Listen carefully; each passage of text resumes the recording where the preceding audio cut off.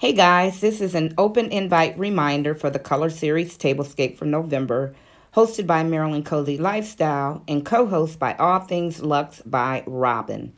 For the month of November, we would like for you to create a black and white table setting, and you can use any other color of your choice to add in with the black and white theme. Be sure to upload your video November 12th at 10 a.m. Eastern Standard Time. And please, guys, no early uploads. Be sure to use the hashtag, hashtag black and white 22, so I can find your video. Other than that, guys, thank you for watching.